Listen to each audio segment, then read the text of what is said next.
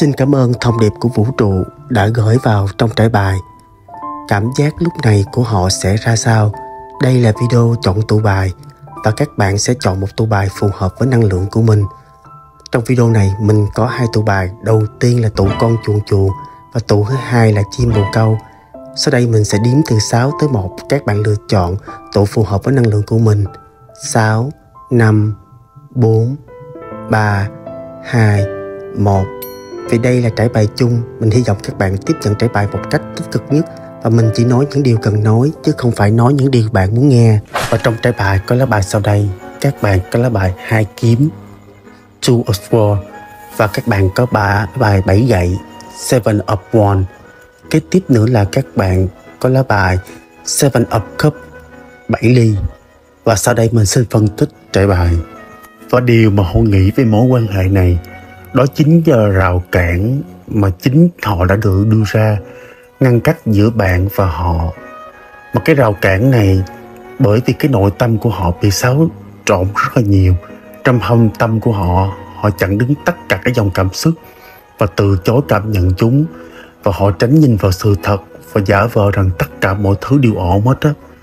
Nhưng mà họ lại quên rằng đó khi mà họ nghĩ như vậy, nhưng mà mọi sự thật lại rất là khác bởi vì nếu như mà họ nghĩ bạn không có xứng đáng đến với cuộc đời của họ, là không phải như vậy. Bạn rất là xứng đáng, nhưng mà bởi vì họ nghĩ cho các bạn, các nghĩ và cảm nhận rất khác nhiều. Bởi vì họ cố gắng duy trì cái tình trạng hiện tại, bởi vì họ rất là thương bản thân của họ.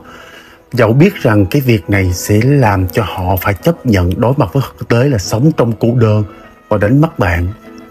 Và họ cũng đang không sẵn sàng chấp nhận một số sự thật về bản thân của mình và trốn tránh đi tìm kiếm cái đúng nhất thực tế vấn đề đang xảy ra. Bởi vì họ không biết thực sự họ cảm thấy gì. Họ cảm thấy là họ dễ bị tổn thương. Họ cảm thấy là họ từ chối nhìn nhận cái vấn đề, tình cảm giữa hai người. Bởi vì họ bị bịt mắt rồi các bạn, họ không thấy gì hết, ngoài cái những rắc rối cho chính họ nghĩ ra mà thôi. Rào cản lớn nhất của họ đó chính là một cái trái tim ra khép kín. Họ cắt đứt tất cả các mạch cảm xúc của mình tức là họ cắt đứt luôn cái dòng chảy tình yêu của họ đối với bạn và không có muốn nó phát triển nhiều. Đôi khi cái việc này giúp cho họ có thể phát triển được bản thân, nhưng họ quên rằng tình cảm của bạn mang lại cho họ một cái giá trị rất là to lớn mà họ không thể biết được. Và họ đóng kín trái tim như vậy á, họ sẽ luôn cảm thấy là khó khăn khi mà họ muốn mở ra lại. Để để yêu một người đâu dễ bạn, để rung động với một người rất là khó bởi vì cái hoàn cảnh bế tắc chính là một cái rào cản khiến cho họ không đến được với bạn và sẽ không đến được với người sau này luôn. Điều họ cảm nhận về là gì? Chính là bạn là một cái người rất là năng nổ nè. Bạn làm theo đuổi những điều bạn muốn, bạn biết bạn cần gì và muốn gì trong cuộc sống này. Và bạn luôn luôn giữ cái lập trường rất là nhiều. Khi một vấn đề xảy ra, bạn biết giữ cái lập trường chính kiến của mình. Mà đôi khi cái bạn bị cái thế là bạn tấn công người khác quá nhiều. Bạn chiến đấu vì những cái gì rất là nhỏ nhặt luôn. Họ cảm thấy là bạn lúc nào cũng vậy. Bạn luôn luôn đặt ra cái quan điểm mình một cách rất là mạnh mẽ. Và bạn biết đâu là cái điểm lợi của mình. Kiểu như là bạn là cái người là cả lúc nào cũng thắng á. Tại vì bạn có lý lẽ và bạn có những cái năng nổ nhất định để bạn có thể theo đuổi được những cái gì bạn tranh cãi. Nhưng mà cái vấn đề này bạn áp dụng cho tình yêu nó sai lắm các bạn bởi vì cái khả năng bạn bảo vệ bản thân mình bảo vệ chính kiến mình rất là nhiều. Và bạn từ chối đầu hàng luôn bạn kháng cự rất là nhiều luôn trong vấn đề khi bạn tranh cãi với họ. Cái điều cần là cần bạn phải bớt lại các bạn ơi cái này không có được đâu các bạn. Bởi mà khi mà bạn quyết định đứng lên phản kháng á, thì tất nhiên cái dòng năng lượng của bạn sẽ là dòng năng lượng kháng cự mà không có dòng năng lượng yêu thương.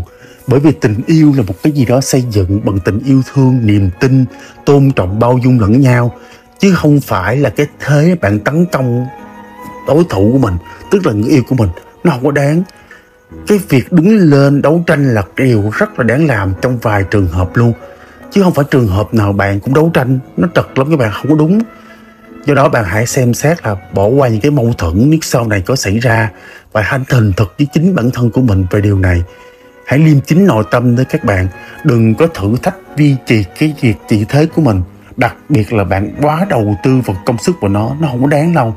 Đừng để mình bị kéo vào những cuộc chiến, trừ khi nó xứng đáng cho bạn đứng lên bảo vệ và xứng đáng cho bạn chiến đấu đừng có cái gì cũng chiến đấu là không có được. Và chính bản thân họ cũng đang rất là do dự trong mối quan hệ của các bạn. Họ do dự một cái điều gì đó mình không biết. Chắc là họ đang muốn cảm thấy là có chuyện gì vậy phía bạn á. Bởi vì bản chất của họ là bản chất họ sống rất là về chủ nghĩa cá nhân. Họ hơi cha trưởng cho đó khi mà bạn kháng cự cái năng lượng bạn vậy á, khó để mà bước tiếp lắm. Đơn giản là thời điểm này chưa đúng thời điểm để cho mối quan hệ tiến triển thêm bởi vì họ muốn tập trung bản thân họ nhiều hơn. Mà đây là cái vấn đề là tại vì họ không có muốn tìm cái giải pháp để cho hai người có thể mở ra cái khúc mắc mà hai người đang hiểu lầm nhau. Bởi vì họ đang cảm thấy là họ rất là tận thụ cái niềm vui của họ rất là nhiều bạn. Họ chú ý bản thân họ nhiều quá các bạn ơi. Tiêu chuẩn của họ đang tìm kiếm người yêu là gì? Họ kiếm một cái người yêu mà phải thật là sự hoàn hảo cái này là phản tác dụng rất là nhiều bởi vì trên đời này không có ai hết đó, hoàn hảo. Và họ có chắc là họ hoàn hảo hay không họ đòi bạn phải hoàn hảo. Bởi vì họ không có biết là trên đời này ai cũng có đẹp cái xấu phải ai cũng tốt đâu các bạn. Mình cứ phần tối mặt xấu khác nhau rất là nhiều. Lá bài cuối cùng chính là cái lá bài nói cái điều họ làm cái điều họ quyết định trong mối quan hệ này cũng như mức độ tình cảm mà họ đối với bạn. Họ có yêu đó các bạn nhưng họ bị do dự họ nghĩ là họ còn phải tập trung bản thân họ quá nhiều. Cái cách mà họ đối xử với tình cảm là gì? Bạn có thấy cái người, hình ảnh người đàn ông, họ đang nhìn vào tất nhiều cái ly quá, bởi vì họ thấy là cái nào họ cũng muốn nhận lấy với các bạn. Họ đau khổ bởi vì họ không biết chọn cái phương án nào. Cá nhân của họ đang bị ảo tưởng đắm chìm trong những suy nghĩ viễn vông và mộng tưởng. Đang sống trong một thế giới họ kiếm một người hoàn hảo do đó họ cần phải đưa ra quyết định là trong cuộc sống của mình và nhìn nhận một cách thực tế nhất là vị trí của họ đang nằm ở đâu và họ đòi người khác hoàn hảo các bạn. Khó lắm các bạn ơi, bởi vì họ có nhiều lựa chọn quá, do đó họ bị chón ngợp và không thể tập trung đúng cách vào mối quan hệ của các bạn được. Nhưng mà cũng có thể trong cái thời điểm này á, họ đã tìm thấy được sự rõ ràng rồi và trở lại thực tế sau một thời gian họ bị say mê trong những mộng tưởng của họ và cuối cùng họ đã bắt đầu quyết định hành động, quyết đoán hơn thấy được con đường chính xác của mình phải chọn. Mặc dù là dù trước đó họ cảm thấy rất là thiếu quyết đoán và lạc lối, khi mà họ thấy được cái thực tế này á, thì nó sẽ đem đến một cái lựa chọn cho họ. Cái lựa chọn họ là gì? Để họ không bị mắc kẹt trong đó. Và có lẽ là họ đã nhìn nhận là cái thực tế của mối quan hệ của bạn và họ sau một thời gian họ trốn tránh thực tế rất là nhiều bởi vì họ đang xem xét là cái mối quan hệ và hành động để khắc phục bất kỳ cái vấn đề nào giải quyết.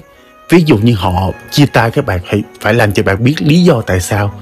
Hoặc là muốn quen lại thì họ phải có lý do vấn đề họ làm sao để họ phải có là bạn. Chứ không phải là họ bỏ qua các vấn đề và không làm cho chúng rõ ràng nhất để cho chúng tự biến mất. Không có gì tự biến mất khi chúng ta không đối mặt và giải quyết vấn đề đó một cách cụ thể và rốt ráo nhất hết á và chính họ đang bị làm một cái hạn chế rất là nhiều về cái khả năng lãng mạn bằng cách là họ bị gắn bó, cứng ngắc qua với những quan điểm phi thực tế của mình. Tức là họ đang tìm kiếm một người yêu hoàn hảo. Làm gì có người yêu hoàn hảo các bạn? Mình nói các bạn rồi.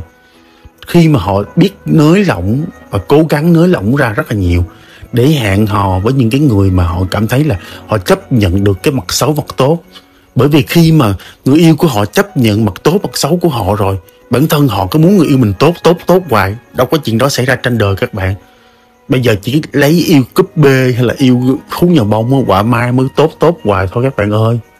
Và mình thấy rồi, cái người này á, họ phải tự lớn lên, họ phải tự thấy được cái sự thực tế, thì họ mới biết được là đâu là giá trị bạn tốt chỗ nào chứ còn không, kiểu như vậy á, họ cứ vậy hoài. Họ cứ lơ lửng lơ lửng và họ bị do dự. Do dự với chính bản thân họ tạo ra thôi các bạn. Và kế tiếp là những cái điều họ muốn nói với bạn là gì? Thông qua những cái lá bài chở của từ thông điệp. Cái điều đầu tiên là họ muốn nói với các bạn là họ cảm thấy bây giờ là cái thời điểm họ rất biết ơn vì cái bài học về tâm linh. Có thể bây giờ họ đã thấy ra được cái sự thật của vấn đề là họ cần phải tập trung vào bản thân mình nhiều hơn cái họ muốn phát triển tình cảm với bạn là họ muốn hơn mức độ tình bạn. Ở trên mức độ tình bạn là tình yêu chứ gì nữa, hoặc là muốn làm tri kỷ. Không hiểu luôn. Và vấn đề mà họ gặp phải với bạn là họ nghĩ là bạn và họ còn quá trẻ để hai người có thể tiến tới và cam kết. Có nhiều khi các bạn thúc đẩy họ phải đám cưới đám cưới họ sợ họ chạy, các bạn ơi. Hoặc là bạn khó khăn quá, họ cảm thấy là họ chưa có sẵn sàng cho một mối quan hệ cam kết lâu dài. Ok, mình xin cảm ơn các bạn đã xem trải bài ha. Trải bài, các bạn có những lá bài sau đây. Các bạn có lá Justice. Kế tiếp nữa là các bạn có lá Queen of Swords, nữ hoàng kiếm. Lá cuối cùng đó chính là Wheel of Fortune, bánh xe lưng hồi.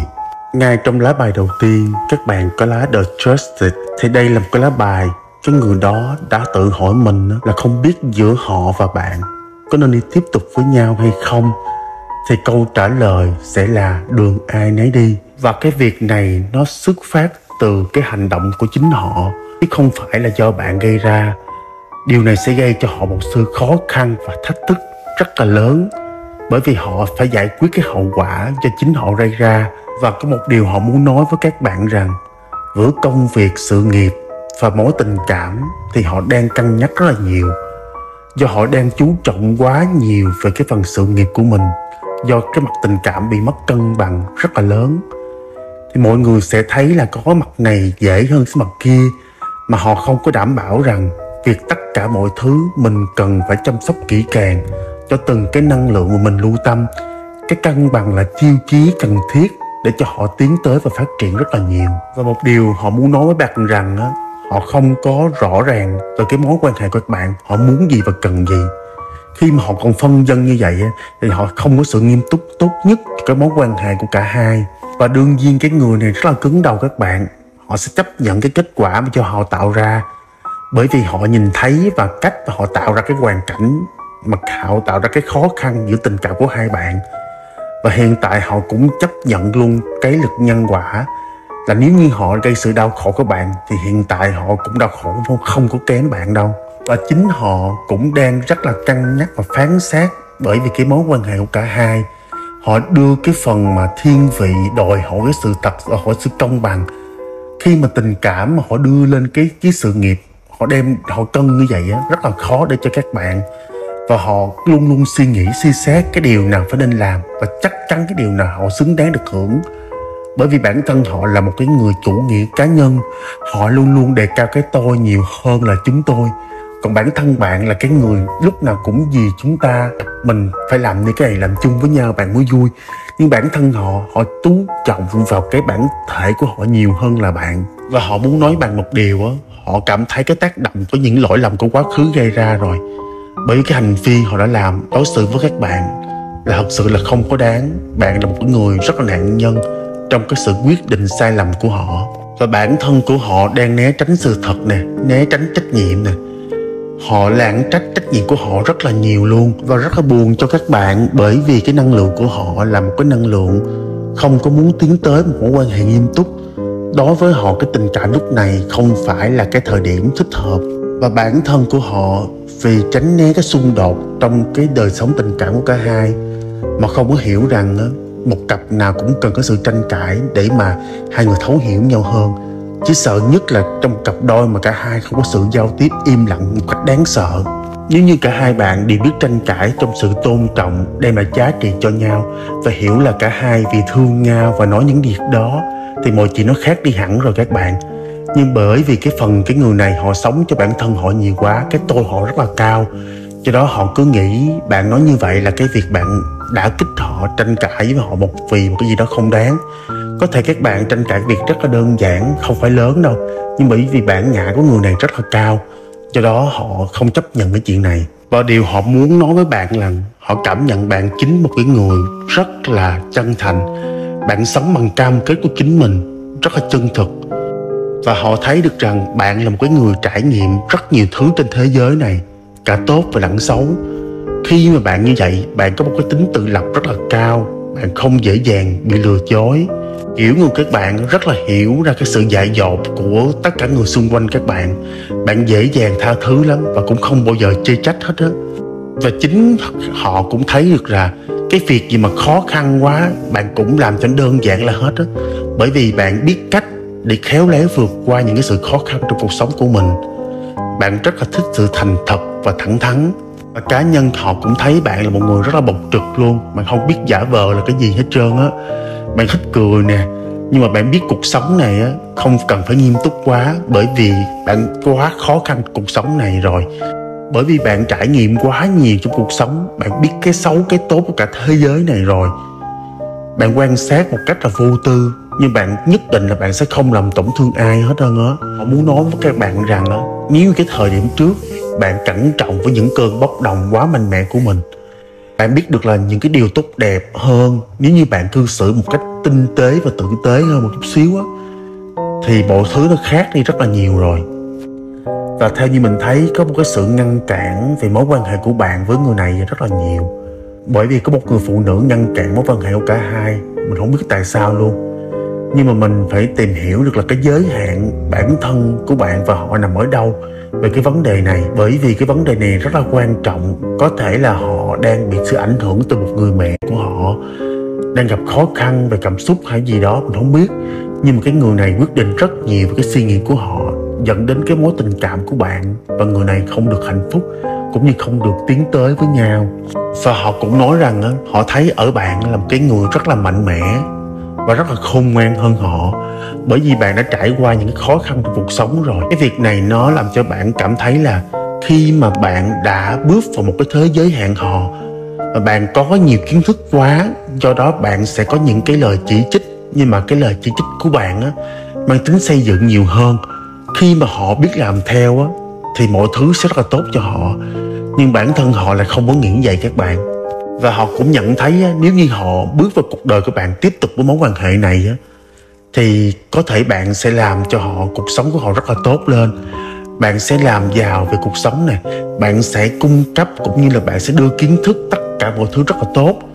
Bởi vì cái lá bài này nó chứng tỏ bạn được trong cái vị trí rất tuyệt vời. Khi mà họ thấy là bạn đủ khả năng để các bạn có thể đáp ứng tất cả các mọi mặt trong cuộc sống này nhưng mà ác một cái cái người này họ là người sống rất là độc lập. Họ cái tôi họ rất là cao.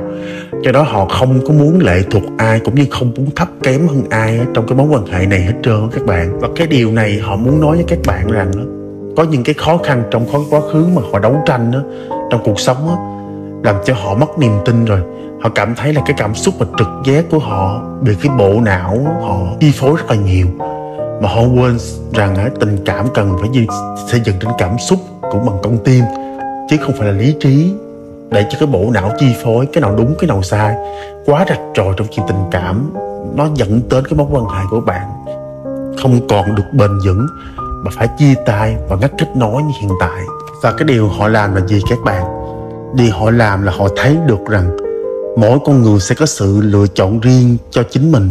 Con đường họ đi nè công danh, sự nghiệp và tình cảm luôn. Nó hàm ý một cái chiều rất là lớn, bởi vì cái vòng tròn tổng thể á, họ thấy ra những cái sự việc và cơ hội xảy ra trong cuộc đời của họ chính là một cái tai nạn.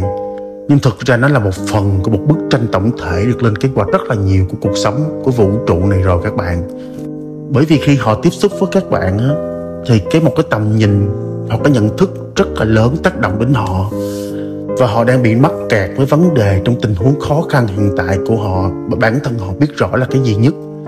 Nó ám chỉ rằng họ chịu lùi bước lại một chút xíu, nhìn một mỗi thứ một góc rộng hơn thì một bức tranh nó sẽ khác hoàn toàn so với những gì họ thấy ở góc độ của họ, rất là nhỏ hẹp. Và cái nguồn năng lượng của lá bài này rất là lớn các bạn. Nó có có chuyện gì đó xảy ra rất là bất ngờ, một bước ngoặt rất là đột ngột xảy ra trong số phận của chính họ.